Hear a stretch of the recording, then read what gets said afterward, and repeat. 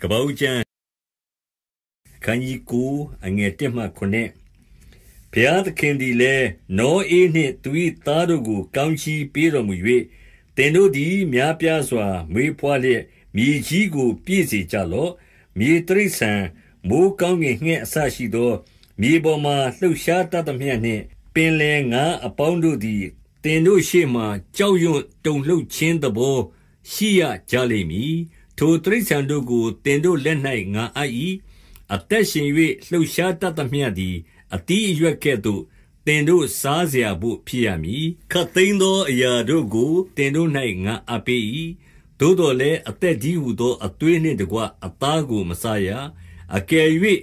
သင်တို့အသက်တည်းဟူသော သင်တို့အသွေးကို ငါတောင်းမည်။လူ၊တိရစ္ဆာန်အပေါင်းတို့၌ငါတောင်းမည်။ခပ်သိမ်းသော လူတို့၏ညီအစ်ကို၌ လူ၏အသက်ကိုငါတောင်းမည်အကျဉ်သူသည် လူ၏အသွေးကိုသွင်း၏ထိုသူ၏အသွေးကို လူလက်ဖြင့်သွင်းရမည်အကြောင်းမူကားဘုရားသခင်သည်မိမိပုံတရံနှင့်အညီလူကိုဖန်ဆင်းတော်မူ၏တင်တို့သည်သားကိုဖွာ၍များပြားကြလော့မြေပေါ်မှအလွန်မွေးဖွား၍များပြားကြလော့ဟု မိန်တော်မူ၏အငယ်ရှိမှ19 တဖန်ဘုရားသခင်သည် နောအေးနှင့်သူ၏သားတို့ကို မိန်တော်မူသည်ကားတင်တို့နှင့်၎င်း နောက်ဖြစ်လက်တန်သော အမျိုးအနွယ်နှင့်၎င်းတင်တို့ထံမှအသက်ရှင်သော တိရစ္ဆာန်တည်းဟူသော ငှက်၊သားယဉ်၊သားရဲရှိသမျှ၊သင်္ဘောထဲက ထွက်ဆင်းသမျှမှစ၍မြေတိရစ္ဆာန်အပေါင်းတို့နှင့်၎င်း၊ငါသည် ကိုယ်တိုင်ပဋိညာဉ်ပြု၏။သင်တို့နှင့် ငါပြုသော ပဋိညာဉ်ဟူမူကား၊ရေလွှမ်းမိုးခြင်းအားဖြင့် ခပ်သိမ်းသော သတ္တဝါတို့သည် နောက်တဖန်မဆုံးရကြ။မြေကြီးကိုဖျက်ဆီးဘို့ရာ နောက်တဖန်ရေလွှမ်းမိုးခြင်းမရှိရ။ထိုမှတပါးငါတဘက်သင်တို့နှင့်သင်တို့ထံမှအသက်ရှင်သမျှသောတိရစ္ဆာန်တို့တဘက်၌သားမြေးအစဉ်အဆက်မပြတ်ငါပြုသောပဋိညာဉ်၏လက္ခဏာသက်သေဟူမူကားငါ၏သက်တံကိုမိုးတိမ်၌ငါထား၏ထိုသက်တံသည်မြေကြီးနှင့်ငါပြုသောပဋိညာဉ်၏သက်သေဖြစ်လိမ့်မည် ငါသည်မိုးကိုအုံစေသောအခါ မိုးတိမ်၌သက်တံသည် ထင်ရှားလိမ့်မည် ထိုအခါ ငါတစ်ဖက်တင်တို့မှဆ၍အသက်ရှင်သောတရဝါတရိษံရှိသည်များတို့တစ်ဖက်၌ရှိသော ငါ၏ဗြိဉ္ဉ်ကို ငါအောက်မေ့သည်ဖြင့်ခတ်သိမ်းသောတရဝါတို့ကို ဖျက်ဆီးခြင်းငှာနောက်တပံရေလွှမ်းမိုးခြင်းမရှိရ မိုးတိမ်၌တက်တန့်ရှိသည်ကို ငါကြည့်ရှုသည်ဖြင့် ဘုရားသခင်နှင့် မြေကြီးပေါ်မှ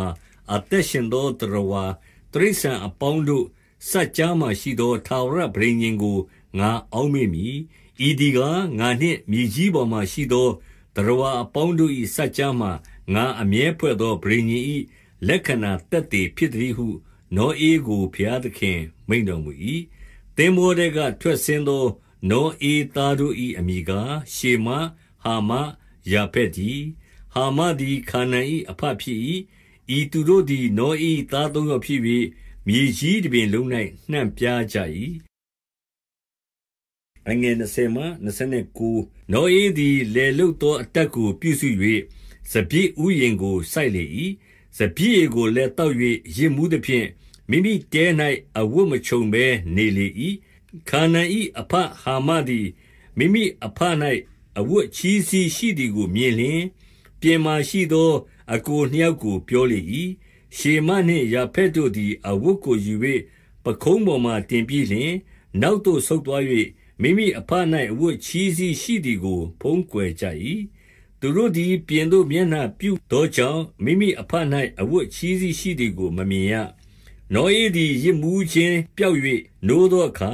မိမိ၌သားငယ်ပြုသည်ကို သိလျင် ခါနန်သည် ကျိန်ခြင်းကို ခံပါစေအကိုတို့၏ကျွန်တို့၌ကျွန်ဖြစ်ပါစေဟုဆို၏တပန်းရှေမ၏ဘုရားသခင်သာရဘုရားသည် မင်္ဂလာရှိတော်မူစေတည်း ခါနန်သည် ရှေမ၏ကျွန်ဖြစ်ပါစေ ဘုရားသခင်သည် ယာဖက်ကို ကျဲစေတော်မူသည်ဖြင့် ရှေမ၏တဲတို့တွင် နေပါစေ ခါနန်မူကား သူ၏ကျွန်ဖြစ်ပါစေဟု ဆိုလေ၏ နောဧသည် ရေလွှမ်းမိုးသောနောက် အနှစ်350အသက်ရှင်၍အသက်ပေါင်း950စေသောအနိစ္စရောက်လေ၏